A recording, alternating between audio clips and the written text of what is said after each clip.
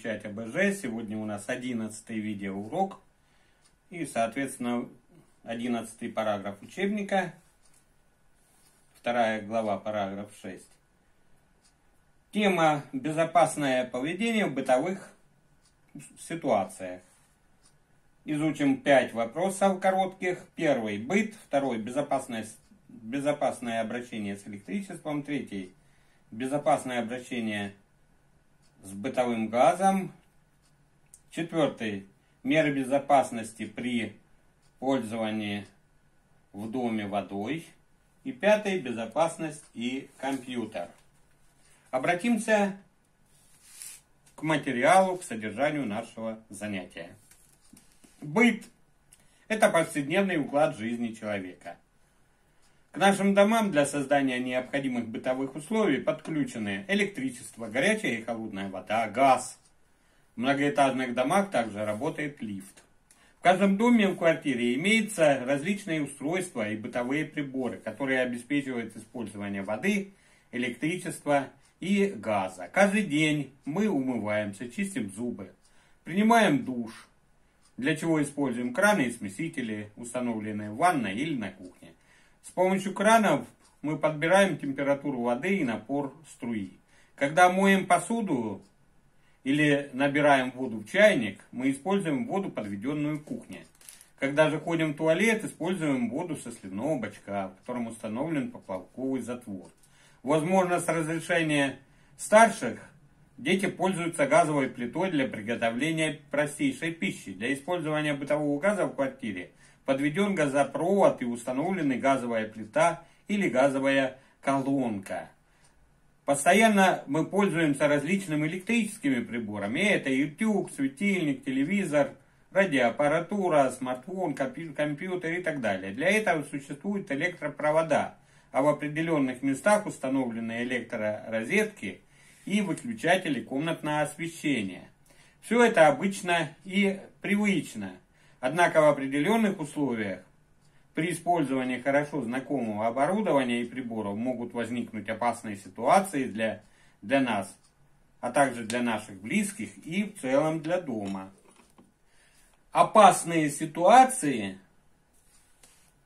возникают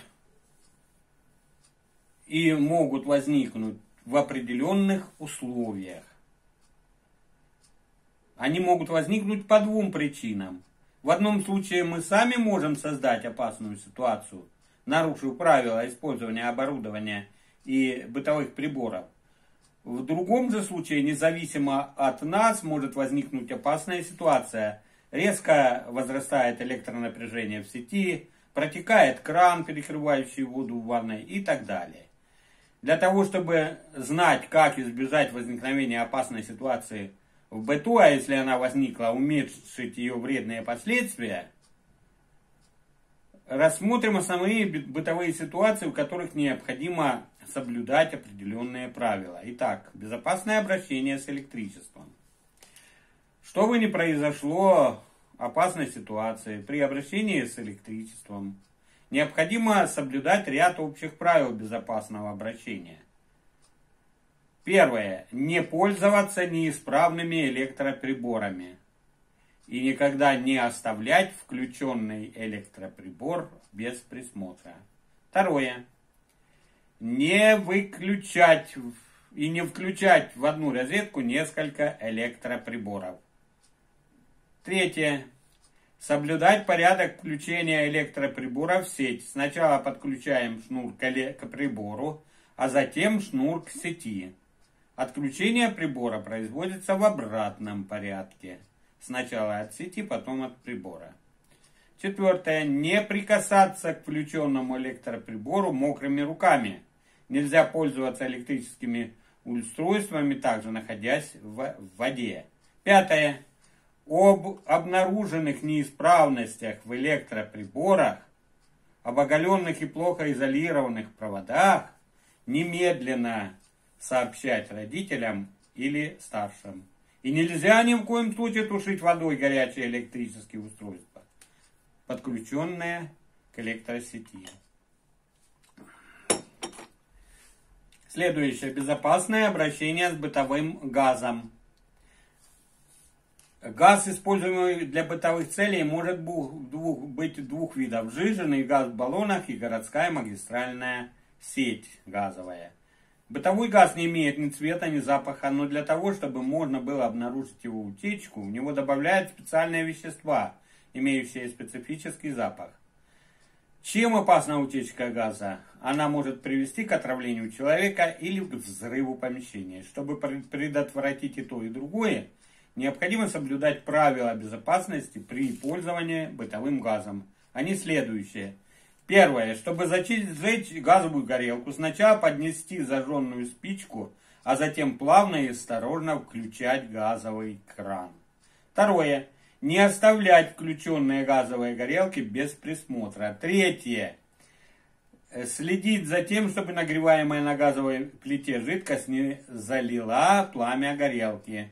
Четвертое. Заметив потухшую горелку, нельзя пытаться ее зажечь вновь. Это может привести к взрыву. Перекрыть кран подачи газа, распахнуть окно и как следует проветрить помещение, то есть кухню. Сообщить о случившемся взрослым. Пятое.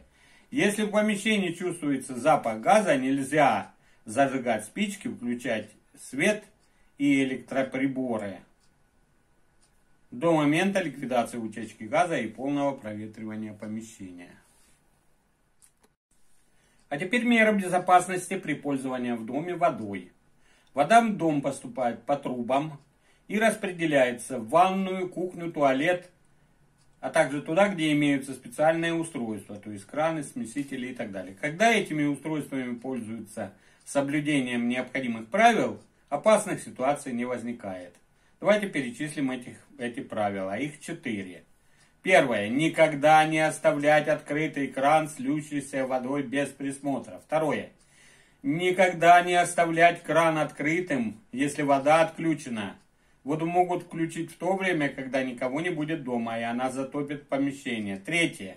Никогда не выбрасывать мусор в унитаз. Можно засорить канализацию, и канализационная вода со всем содержимым начнет поступать в дом. Четвертое. Не оставлять без внимания неисправные краны, просачивание воды в отопительной системе и в водопроводе. Обо всем замеченном рассказать взрослым и показать место неисправности. Далее, безопасность и компьютер. Конечно же, компьютер очень полезная вещь а иногда она крайне необходимая. Однако неправильное обращение с компьютером может нанести вред здоровью. Длительное пребывание в одном и том же помещении очень вредно для туловища, наступает утомление. У тех, кто долго работает за компьютером или играет в компьютерные игры, часто развивается близорукость. Очень вредно электромагнитное излучение, когда, которое исходит от экрана. Правила работы с компьютером. Их несколько ну, по крайней мере, 7. Давайте их перечислим. Первое. Непрерывная продолжительность работы школьника за компьютером не должна превышать 25 минут. Затем перерыв не менее 15 минут. Общая продолжительность работы за компьютером должна составлять 1 час в день, включая перерывы. Второе правило. Экран компьютера должен был защищен оптическим фильтром. Третье. На монитор не должны падать прямые солнечные лучи. Электрический свет должен быть направлен сзади. Не работать в темном или полутемном помещении. В целом помещение должно быть освещено ровно и не ярко. Четвертое. Следить за тем, чтобы положение монитора соответствовало направлению взгляда середины экрана монитора располагаясь на горизонтали, проведенной на уровне глаз или на 10-20 сантиметров ниже. Пятое. Экран монитора должен быть установлен на таком уровне, при котором взгляд по горизонтали направлен на центр экрана, находящегося на расстоянии не менее 50-60 сантиметров от глаз. Шестое. Высота сидения кресла должна быть такой, чтобы руки, лежащие на клавиатуре, были расположены горизонтально. У кресла обязательно должны быть подлокотники и подголовник. Ноги должны упираться в специальную подставку или опору. Седьмое. После каждого продолжительного занятия на компьютере рекомендуется выполнять определенные физические упражнения. Задание на дом. Четыре проверочных вопроса, которые необходимо выучить наизусть. Первый. Какие правила помогают избегать опасности в бытовых условиях? Второй. Описать порядок включения электроприбора в сеть. Третий. Чем опасна утечка газа? Узнать у взрослых, как обнаружить утечку газа. Четвертый. Как вы думаете, представляет ли опасность ком компьютер? Спасибо за внимание. До свидания.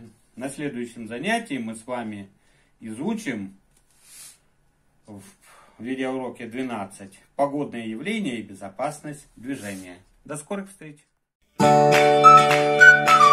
Thank you.